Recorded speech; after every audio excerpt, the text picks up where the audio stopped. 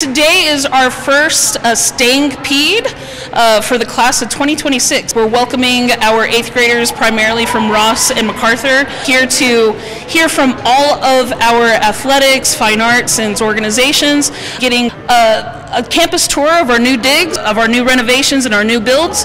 I think it's really important, one, because it kind of removes the veil. They they see what Burges is all about. We talk a little bit about our school culture, including IOB, which stands for In Our Blood.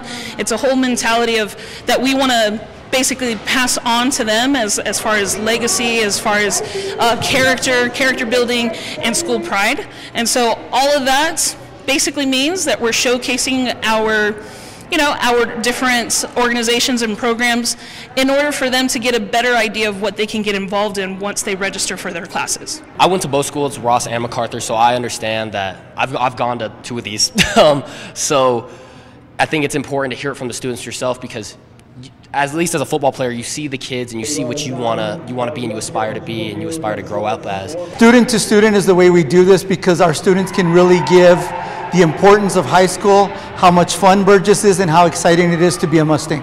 Today we had a tour around Burges High School.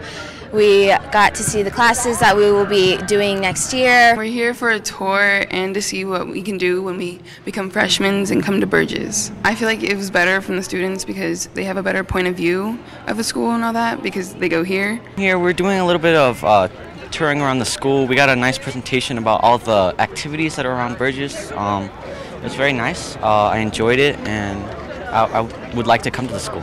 Burges is like any, not like any other school.